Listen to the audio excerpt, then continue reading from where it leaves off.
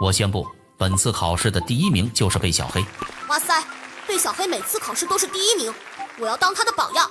不及格的同学有小泽塔和小戴拿，你们都到黑板前面给我站着，好好的反思一下。嘿嘿，还好罚站没有我，看来我这次考得不错。你确实考得不错，成功拿到了倒数第一的好成绩。你老爸赛罗可是我的得意门生，你就不能像你老爸一样让人省点心吗？第二天，赛罗被雷欧叫到了学校，正好碰到贝利亚父子。赛兔子，好久不见呀！你看我儿子又考了第一名，考了第一名，哈哈哈哈哈！赛罗被嘲讽，他的心里非常气愤，当场就把小赛罗臭骂了一顿。小赛罗，你太让我生气了，我的老脸都让你丢尽了。下次考试要是还不及格，我就不认你这个儿子了。小赛罗，别怕，赛兔子如果不要你了，我就收你为义子。哈哈哈哈！贝老黑，你被训斥的小赛罗心情非常郁闷，他想破脑袋也没有办法一下子把成绩提上去。离下次考试只有一个月了，我该怎么办啊？如果再考不好，爸爸肯定会生气的。我真是太难了。小朋友你好，听说你学习成绩不好，我是特意来帮你的。你是谁？你为什么要帮我？我问你，你想不想每次考试都考满分，让同学们都羡慕你？我当然想了。很好，只要你回答对三道题，我就可以送你一个智力宝球。有了它，你想考多少分都没问题。真的吗？那你快点出题吧。一只羊有几个脑袋？一个脑袋。几条腿？四条腿。多少毛？啊？这我哪数得过来？看来这个智力宝球真的很适合你，这么简单的问题都答不出来。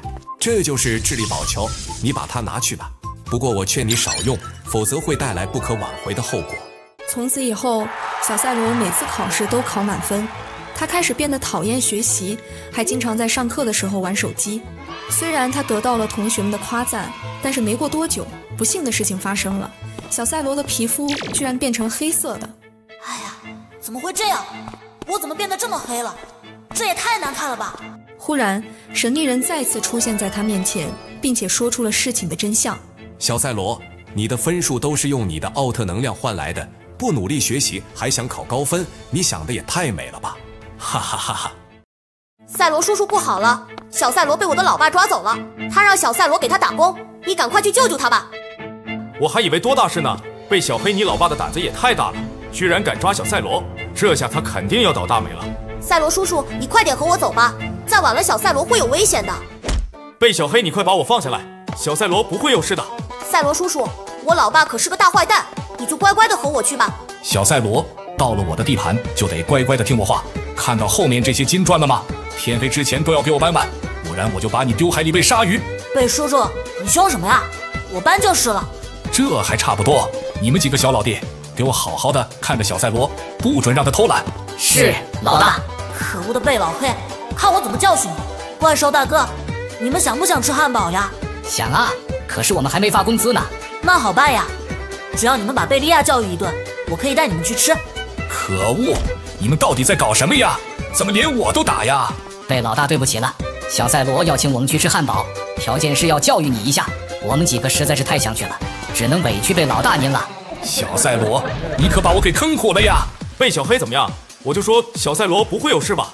小赛罗真是太厉害的，没想到我的坏蛋老爸都被他坑了。我要给小赛罗两个大拇指。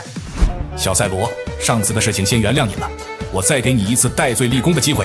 谢谢你，贝叔叔，我保证下次不敢了。今天你的工作就是给我喂猪，要是我回来看你喂的不好，我就把你的屁股揍开花。贝叔叔，您放心吧，我保证完成任务。Two hours later，我的天哪，我的猪呢？小赛罗，我的猪去哪里了？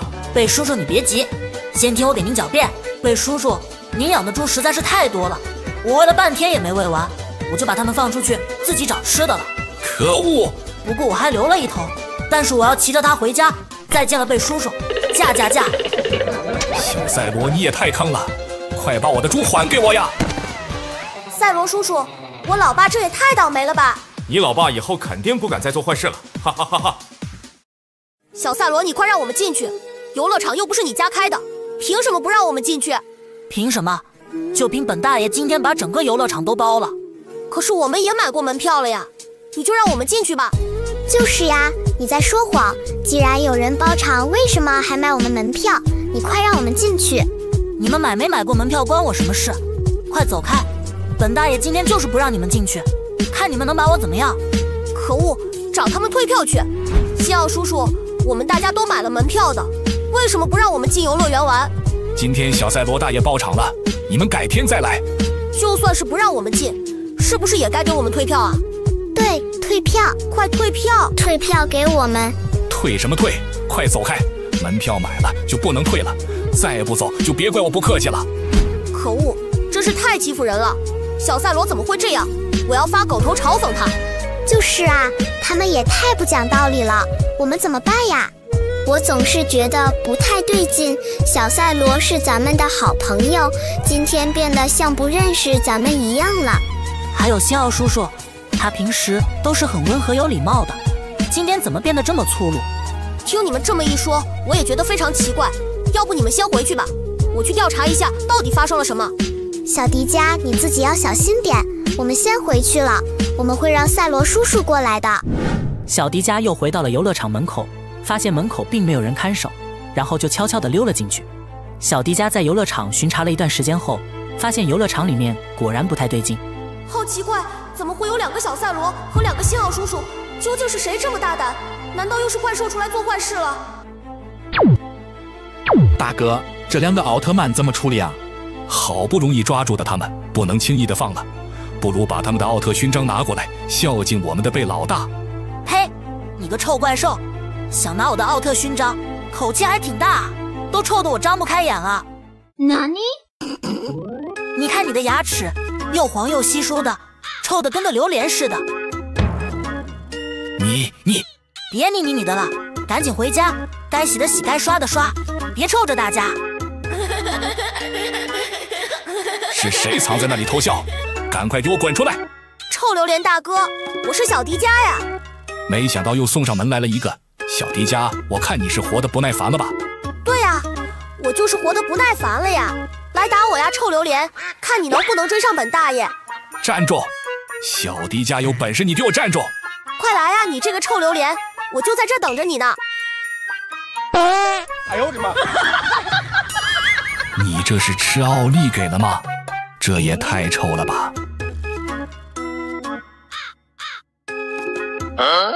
小迪迦吃没吃奥利给我不知道，但是我知道你肯定吃拳头了。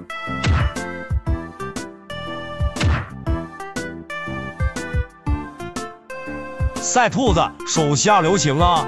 贝老黑，你这些怪兽小弟又出来干坏事了，你再不好好管教他们，我就要教训你了。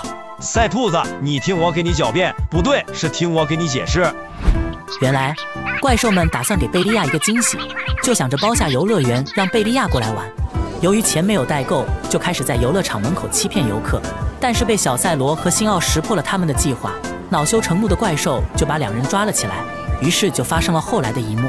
最终，两个怪兽在赛罗的教育下，认识到了自己的错误，并且取得了大家的谅解。你们两个走开，以后不要再管我叫爸爸。爸爸，这是怎么了？我们做错了什么事情了吗？你们两个学习成绩这么差，完全不像我当年的样子。我没有你们这样的孩子。爸爸，请原谅我们，我们。你们两个赶紧走！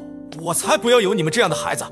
小小乔，我们还是走吧，反正爸爸也不要我们了。哥哥，等等我呀！哥哥，我们去哪里呀？我好饿呀，能不能给我个汉堡吃？小小乔，先忍一下，我身上没带钱，等有钱了我们再买。去去去，没钱就快走开，别耽误我做生意。哥哥，我们去找格力乔妈妈吧，她一定会帮助我们的。格力乔妈妈去了一个很遥远的地方，我们的奥特能量太少了，根本就没办法走到那里。要不我们去找贝老黑叔叔吧，他一定会帮助我们的。对，我怎么没想到呢？我们现在就去找贝老黑叔叔。小赛罗和小小乔急匆匆地赶往贝利亚的家里。小赛罗、小乔乔，你们找我有什么事吗？贝老黑叔叔，我和小小乔被爸爸赶了出来，你能把我们送到格力乔妈妈那里去吗？当然可以，小赛罗，我这就带你们去开启传送门。谢谢您，贝老黑叔叔。你们看，这就是传送门，但是它需要很多的奥特能量才能启动。我和小小乔已经一天没吃饭了，奥特能量都用来充饥了，能用你的奥特能量吗？没问题的，小赛罗。屏幕前的小伙伴肯定也会帮助我们的。贝利亚将自己的奥特能量注入传送门，门从中心散发出耀眼的光芒。小赛罗、小乔乔，传送门已经启动，你们快去找格力乔吧。谢谢你，贝老黑叔叔。哥哥，这个地方好大呀！格力乔妈妈，你在这里吗？你在这里吗？好像是小赛罗的声音，他不是在家里吗？小赛罗、小乔乔，你们怎么来了？小小乔，先不要哭，是不是有人欺负你们了？妈妈会为你们做主的。妈妈，我们因为学习成绩不好，赛罗爸爸把我们赶出了家门。可恶的赛罗，居然在我不在家时这样对待孩子们！走，我们回去找你赛罗爸爸算账。赛罗，快给我滚出来！乔妹妹来了来了，我马上给你开门。乔妹妹，你拿武器做什么？快点放下，拿着多累啊！赛罗，你这个不负责任的父亲，怎么能把孩子们赶出去？我看你是皮痒了。乔妹妹，我错了，你不要再打了。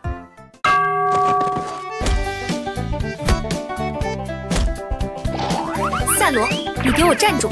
乔妹妹，我承认我错了，不要再追打我了。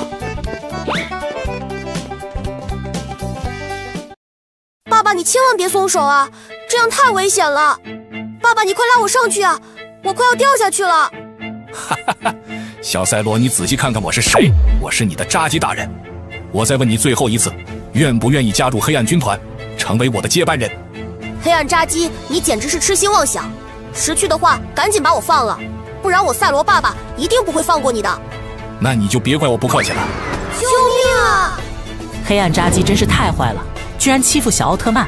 小伙伴们和我一起发狗头来嘲讽他吧。此时泽塔奥特曼正好下班路过，发现了遇到危险的小赛罗。不好，小赛罗有危险，我得抓紧去救他。还好我来得及时，刚刚真是太惊险了。小赛罗，你为什么会从那么高的地方掉下来？是黑暗扎基假扮成赛罗爸爸的样子，把我扔下来的。可恶！黑暗扎基真是本性不改，上次做坏事刚被教训，今天又跑出来做坏事了。就是啊，黑暗扎基真是太坏了，非要让我加入什么黑暗军团，还让我当他的什么接班人。我不同意，他就把我扔了下来。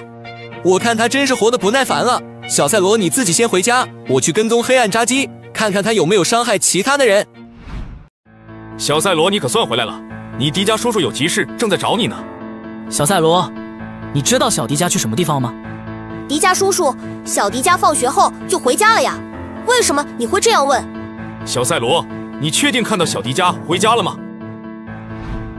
原来。今天放学后，小赛罗和小迪迦一起回家。他们走到半路的时候，赛罗出现在了他们面前，和他们说了几句话后，小赛罗就和赛罗坐上车离开了。接着就发生了视频开头的一幕。而此时，泽塔偷偷跟随黑暗扎基来到了怪兽基地，眼前的一幕都让人惊呆了。好几只小奥特曼居然和怪兽在一起。老大，有三个小奥特曼加入了我们的黑暗军团，做得不错。我们还得掌握更多的小奥特曼。这样我们才有希望占领光之国。不好，我得抓紧通知师傅前来解救这些小奥特曼。泽塔将看到的一幕拍照发给了赛罗。收到泽塔的信息后，他们认为小迪迦的失踪肯定也和黑暗扎基脱不了关系。赛罗，现在情况很危急，我们兵分两路，你去怪兽基地救小奥特曼，我前去寻找小迪迦。好，事不宜迟，我们抓紧出发。臭怪兽，你到底要做什么？你不要过来啊！只要你答应加入黑暗军团，我就不会伤害你；否则，我就把你从这里扔下去。可恶的怪兽，你休想欺骗我！我就是死也不会答应你的。真没想到小迪迦居然这么勇敢，在怪兽的威胁下依然不屈服。我们一起发送鲜花鼓励他吧。小迪迦，你说的很对，我们光明的奥特战士怎么能向黑暗低头？怪兽。接受光明的洗礼吧！你、你、这也太狠了吧！黑暗扎基，快放了这群小奥特曼，不然别怪我不客气了。赛罗，我劝你别管闲事，是这几个小奥特曼自愿留下来的。赛罗叔叔，他在说谎，你快救救我们呀！吃我一拳！